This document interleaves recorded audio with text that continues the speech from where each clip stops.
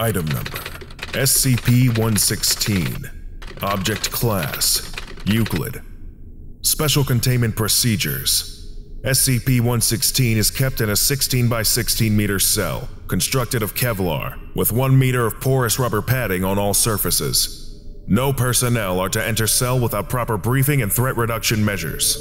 Cell is to be monitored at all times by six agents, four stationed at corner points of cell and two stationed with SCP-116. No pointed objects or intrusive testing equipment of any kind are to be placed in the possession of the agents within the cell.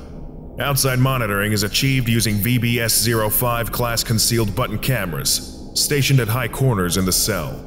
Outside monitoring is to be carried out by a further two agents.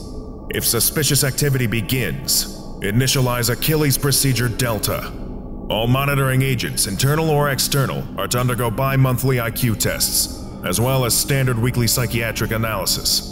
Significant drops in the IQ of agents greater than or equal to 5 points is to be regarded as prolonged exposure and to be treated as outlined in standard quarantine instructions. Description SCP-116 has the outward appearance of a Caucasian male of around 9 years of age. Skin is cauterized and scarred, over 98% of body, limbs, and head. SCP-116's bone structure is drastically different from standard Homo sapiens bone layout, and all bones are dangerously brittle. The most distinguishing difference between the human body and that of SCP-116 is the non-existence of joints in the latter. SCP-116 is entirely capable of independent movement, but to do so would cause multiple shattering breaks to all bones affected by said movement. To combat this, SCP-116 shows remarkable self-healing, and over a period of minutes can completely regenerate its rigid bone placement. SCP-116 has shown some language skills since acquisition. However, the only language it speaks is a disrupted and broken version of English, in which every word has been replaced with an almost entirely unconnected one. Prolonged attempts to make sense of SCP-116's speech have resulted in some long-term mental degradation in researchers. There seems to be no pattern to the word replacement, and attempts continue to translate it. Research suggests that SCP-116 may be capable of low-level telepathy, which deteriorates the victim's brain functions over a long period of time. Appendix 1 Sergeant 19-0529 Memorandum May 29th Subject Development of suicidal tendencies by SCP-116 NB SCP-116 has begun to show extreme suicidal tendencies. Request modification of monitoring and containment protocol to avoid undue damage to subject. Appendix 2 Dr. 19-1429 SCP-116 Language Notes June 19th 116's unique linguistic setup is one of increasing interest to me. Continuing research by my team and me has yielded these somewhat basic results. No clear reasoning has been found as to why 116 communicates in this way. Although the words spoken by it are English, the parameters under which they operate are drastically different.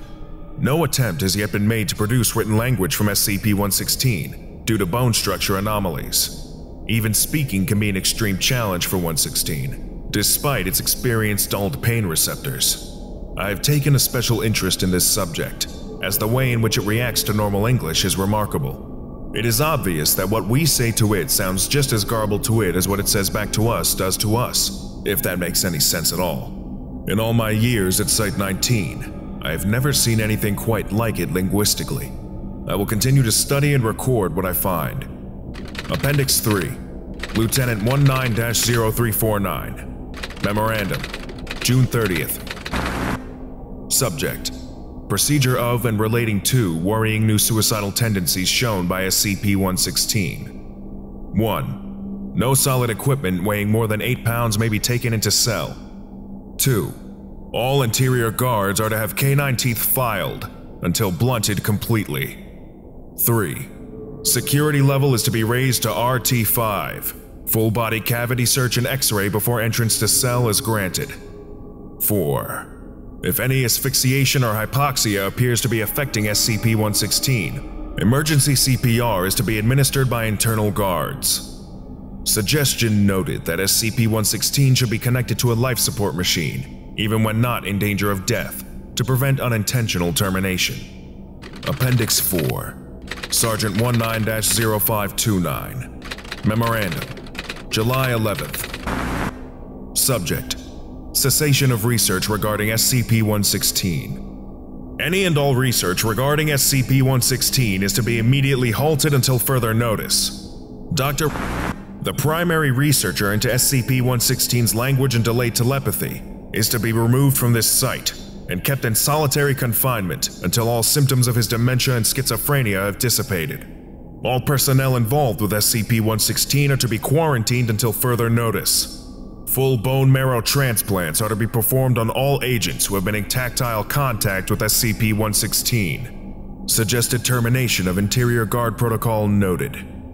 Appendix 5 Colonel 20-0212 Memorandum March 20th Subject Cessation of SCP-116 Project Given the suicidal tendencies of SCP-116, its deleterious effects on involved personnel and lack of significant useful progress in research, I propose we allow SCP-116 to self-terminate in a controlled environment.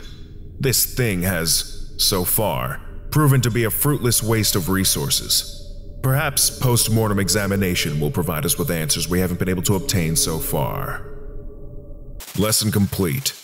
If you missed the previous orientation, go watch SCP-115, Miniature Dump Truck, right now. Or for the complete course, watch this playlist.